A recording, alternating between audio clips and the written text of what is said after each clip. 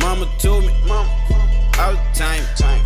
God is good, all the time. Yeah. Mama told me, mom, all the time.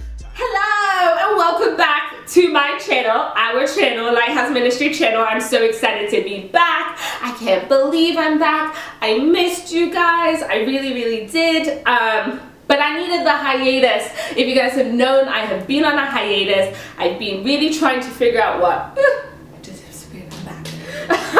I've been really trying to figure out. I've been really trying to figure out what God wanted to do with my life and what He wanted to do with this ministry. And I kind of want to share with you guys like why I kind of went on a hiatus.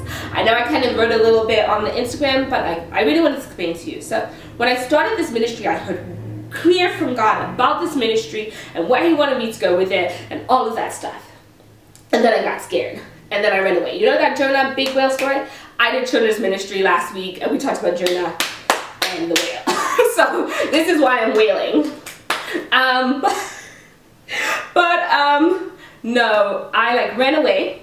Then I came back and then I did it. And then I got scared.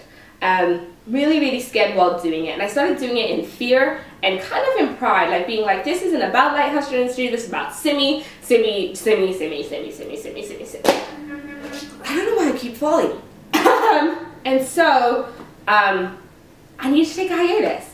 Um, I also had a lot of things. When you start ministries, when you start doing what God asked you to do, you start getting attacked and attacked and attacked and attacked and attacked, and you're like, what? I'm just trying to do what God asked me to do.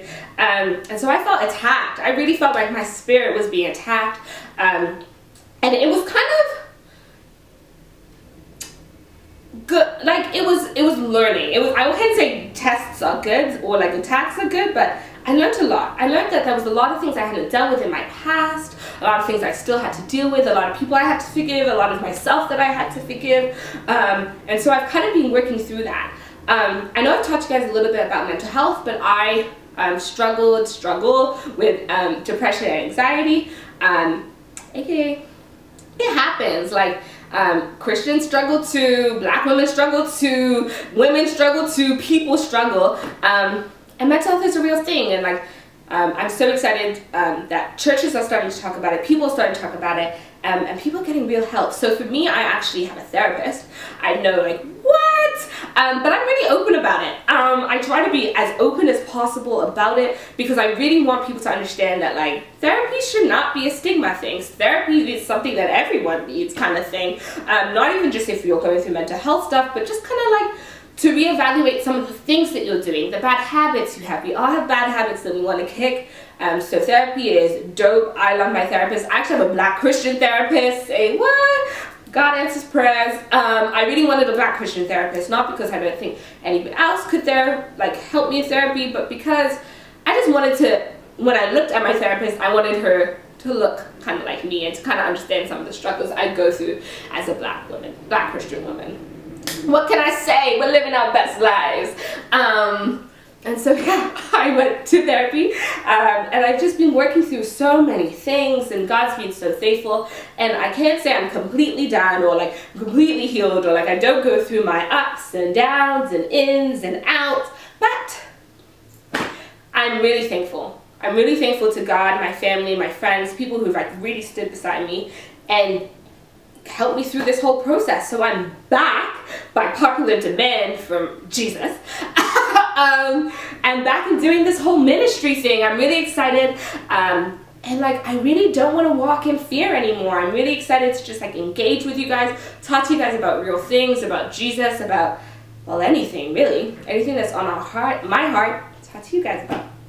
So yeah, we're back from our hiatus. And so what does it mean when I'm, that I'm back? I mean, I'm to still do some Bible studies. I'm going to still do some really cool things, tell you guys about the revelations God has given me. But we're just to go with where God takes us. And I'm really excited because God's going to do what God's to do with this channel.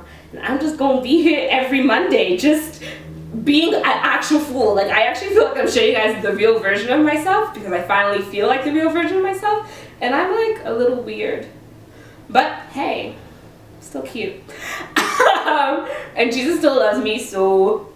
But one of the things we are doing that is coming up, I will talk about it next Monday too, because it will be um, in two weeks, in yeah, in two weeks, um, I want to do a Bible hangout with y'all. Um, it will be in mid-Toronto, so if you are like in Quebec, in the States, in London, like I can't really help you. I mean, you can get on a flight for, for this, but I want to do a Bible hangout. And you're probably wondering what a Bible hangout is. Why am I doing a Bible hangout, and not a Bible study? Okay, so Bible hangout is kind of the same as a Bible study, but like, listen, I don't care if you're Christian, not Christian, what denomination you go to, if you've been to church, yes, if we're in church today, aka Sunday, Monday, Tuesday, Wednesday, or you haven't been to church for years, but you just want to get back into reading your Bible, you want to get back into connecting with God, talking to God, um, and you want a community to do that with, this is what a Bible hangout's all about. Like, there will be no judgment. This will be like a judgment-free zone. Like, if you're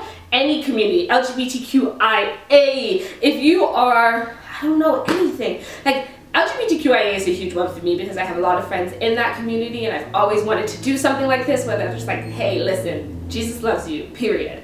Um, but if you've ever felt like unwelcome by the church, because listen, I have, I have, I really have, um, this is a space for you to just kind of like ask your questions, kind of figure out who Jesus is, like talk about the Bible, like come back, like come home, like whatever, like whatever path you're on, if you're a theology major or you're just regular Joe off the street, like this, a Bible hangout is for you.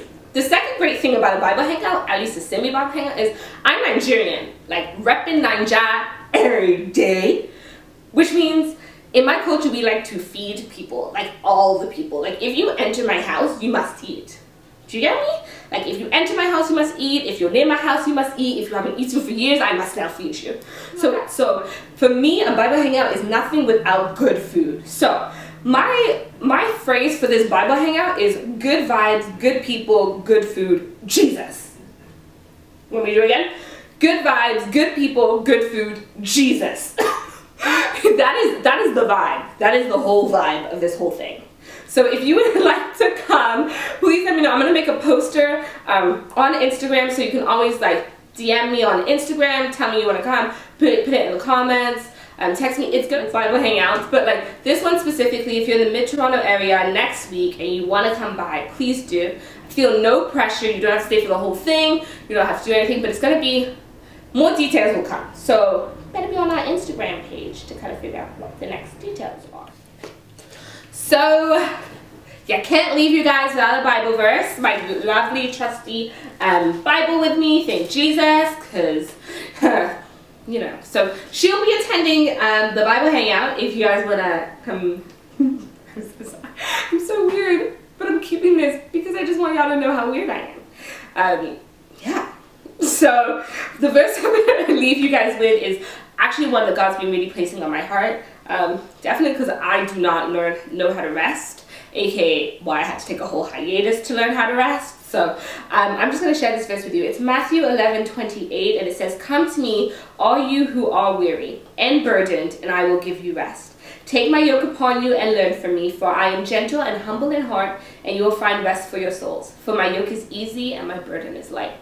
Um, if you are, you know, uh, born in the church, like my parents go to church, my grandparents go to church, you've heard this verse before. I've heard it a million times. But the part that really resonated with me is the take my yoke upon you and learn from me. Um, and the learning part that we'll get from Jesus, because Jesus is talking to his people, is the for I am gentle and humble in heart, and you'll find rest for your souls.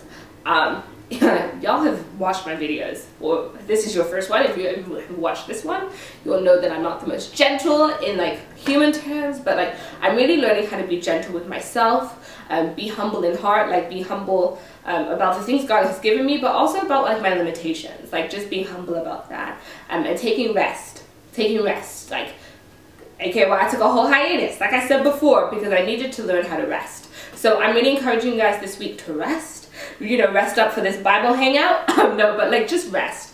Um, and rest and be excited about the season that we're going into because um, I'm excited. So, as I always say, and I know you missed it, I want you guys to know that I am thinking about you, loving on you, and praying for you. I'm praying that God will lead you this week, that He will give you the strength to go through it, that every single word that He has spoken over you will never come back to Him void, and through those words, seeds will be planted of righteousness, and that um, that you'll come, that you'll that you'll come to know Him and come to have a personal relationship with Him because He really does love you. Amen. Amen. Anyways, guys, I love you. Mwah, mwah, mwah, mwah, mwah, mwah. And I'll talk to you soon. Bye. Mwah.